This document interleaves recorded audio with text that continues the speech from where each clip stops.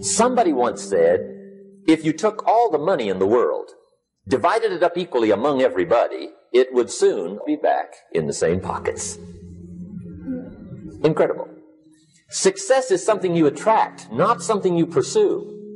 Success is looking for a good place to stay.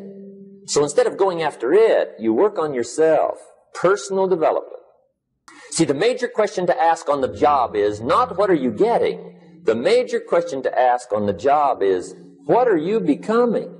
See, the big question is not what am I getting paid here? The big question is what am I becoming here? Because true happiness is not contained in what you get. Happiness is contained in what you become. So that's our major subject for tonight, personal development. Of all the assignments Mr. Shoaff gave me at age 25, this was probably the most difficult. In fact, I'm still working on this one. I think it's an unending challenge to see what you can become. The next subject is my favorite, setting goals. Mr. Shoaff taught me how to set goals. What a favor that was. One morning at breakfast, shortly after I met him, he said, Jim, let me see your current list of goals and let's go over them and talk about them. He said, maybe that's the best way I can help you get a better direction started. And I said, I don't have a list. He said, Well, is it out in the car or home somewhere? I said, uh, No, sir. I don't have a list anywhere. He said, Well, young man, that's where we got to start. He said, I can tell you right now, if you don't have a list of your goals with you, he said, I can guess your bank balance within a few hundred dollars, which he did. And that got my attention. I said, You mean my bank balance would change if I had a list of goals? He said, Drastically. That day, I became a willing student how to set goals. And sure enough, learning how to set goals changed my life. And I often wondered why no one had ever taught me how to set goals up until age 25. I went to high school, but if they offered it, I missed it. I went to college for a year, never heard it. So here I am, age 25, married, my family starting, I've been to college, I'm working, and I still don't know how to set goals. But fortunately, when I was 25, I met the man who taught me how, and it revolutionized my whole life economically, socially, personally. It's incredible. So I want to share with you tonight what Mr. Shoaff shared with me, how to set goals. It can be a life changer. Okay, the next subject is the negative part of the seminar.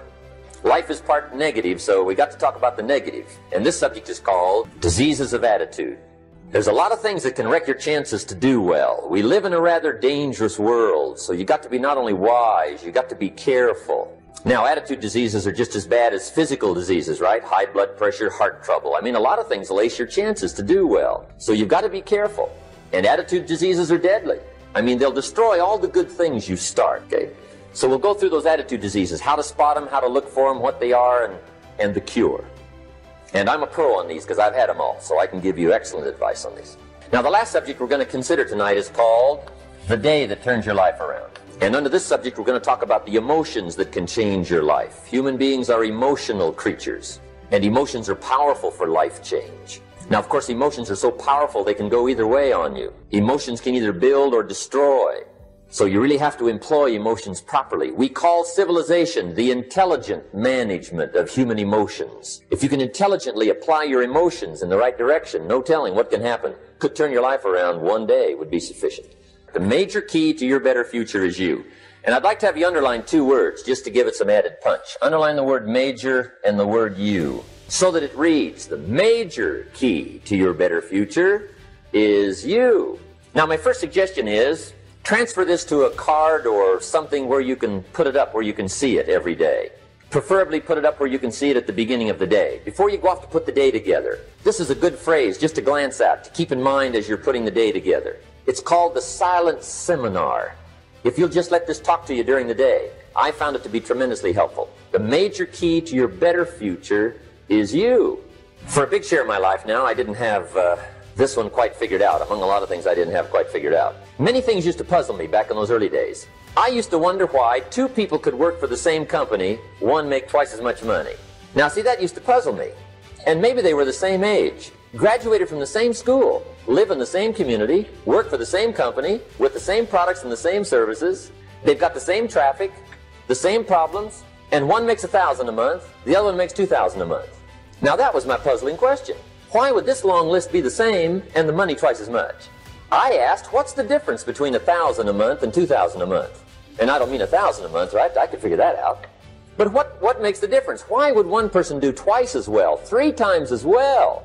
Speaking economically, now I know there's more than one way to do well. I understand that. But in this little narrow area called compensation, what's the difference? Well, back then, with my faulty thinking, I'm trying to reason it out. I thought, well, maybe time makes some of the difference, right? Some people do better because they have more time. I used to say, Harold ought to be able to do well. He's got a lot of time. If I had all of Harold's time, I could do well. Now that's got to be dumb, right? Number one, you can't get somebody else's time. A guy says to me one time, he says, you know, if I had some extra time, I could make some extra money. I said, then forget it. There isn't any extra time. Hey, when the clock strikes 12 midnight, that about wraps it up, right? You can look around the gongs there for a little more, but it's over. You say to the guy, what are you doing? He says, I'm looking for extra time. See, they'll come and take you away, right? There isn't any more time. Now, if you can't get more time, which you can't, what could you get more of that would make a difference in economic results? And here's the key word. The word is value. Value makes the difference in results. Value makes the difference. You can't get more time, but you can create more value. Now, here's the first lesson of economics. Everybody should learn it from the time they're old enough to understand what a dollar means, how to earn one, how to get one, how to keep one, what to do with it. First lesson of economics we primarily get paid for value. That's lesson one. Bringing value to the marketplace, that's how you get paid. You don't get paid for the time. I know it takes time to bring value to the marketplace, but you get paid for the value, not the time. Now, since that's true, here's one of the key questions of the evening. Is it possible to become twice as valuable at the marketplace and make twice as much money in the same time? Could you become three times as valuable, make three times as much money in the same time? Is that possible? The answer is yes, if. And it's always if, right? Life is known as the big if. Harry Truman once said, Life is iffy. How true. And here's the big if we're going to consider it tonight. It's possible to do much better at the marketplace if you go to work primarily on yourself. And that's the theme of our seminar tonight learning to work primarily on yourself. People have asked me for the last 24 years, how do you develop an above average income? And the answer is, become an above average person. Develop an above average handshake. Some people want to be successful, they don't even work on their handshake. As easy as that would be to start on. They let it slide, they don't understand. Develop an above average smile. Develop an above average excitement. Develop an above average interest in other people.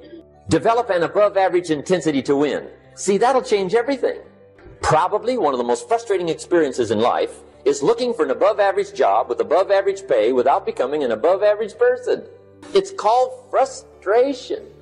And Mr. Shoaff gave me probably the greatest clue he gave me when I first met him.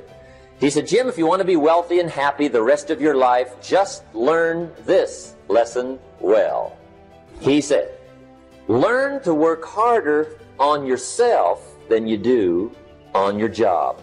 Then Mr. Shoaff gave me probably one of the most important clues among so many things he taught me, but this was in those early days. Mr. Shoaff was very kind, but he was also very abrupt, and he had these interesting questions to ask. I'm giving him a little rundown one day on how things hadn't worked out for me. He said, Mr. Rohn, I've got the answer for you if you will listen carefully. And listen carefully, I did that day and for the next five years. If somebody's wealthy and happy, you gotta listen. He said, Jim, I've only known you a short time. But he said, it's already my honest opinion that for things to change for you, you've got to change. That wasn't quite the answer I was looking for. But that's the answer he gave me, and I pass it along to you on this warm summer evening in Anaheim, California.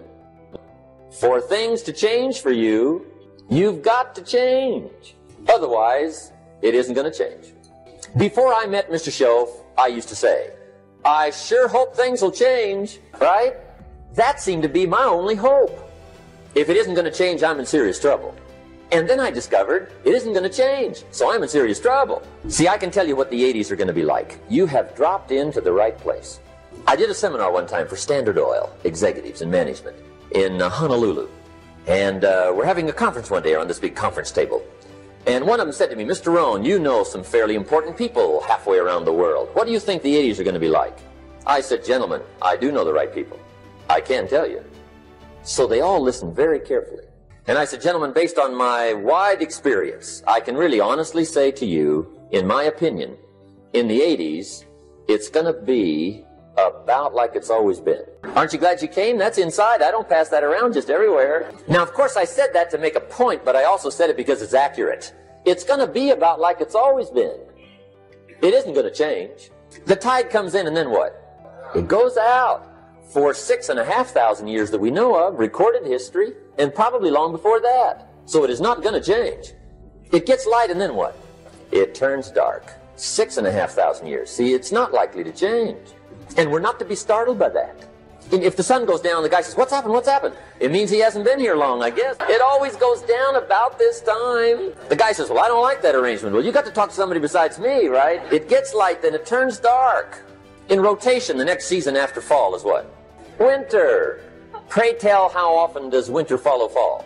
Every year regularly for the last six and a half thousand that we know of. See, it is not going to change. Now, some winters are long, and some are short, and some are hard, and some are easy, but they always come right after falls. It isn't going to change. Sometimes you can figure it out, sometimes there's no way to figure it out. Sometimes it goes well, sometimes it gets in a knot. Sometimes it sails along, sometimes it gets in reverse. See, that's not going to change. The last 6,000 years reads like this opportunity mixed with difficulty. That's how it reads. It isn't going to change. The man says, Well, if it isn't going to change, how will my life ever change? Answer, When you change. And whether I'm talking to high school kids or business executives, my message is always the same. And it goes like this The only way it gets better for you is when you get better. Let me give you the four major lessons in life to learn. Here's four majors. It's good to study the majors. Life and business is like the changing seasons. One of the best ways to describe life, it's like the seasons. Frank Sinatra sings, life is like the seasons. You cannot change the seasons, but you can change yourself. And see, that's how life gets better for you, not by chance, but by change. Now, here's the four major lessons in life to learn.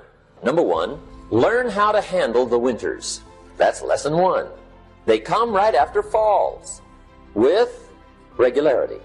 Some are long and some are short and some are hard and some are easy, but they keep coming. You must learn to handle the nights. They come right after days. You must learn to handle difficulty. It comes right after opportunity.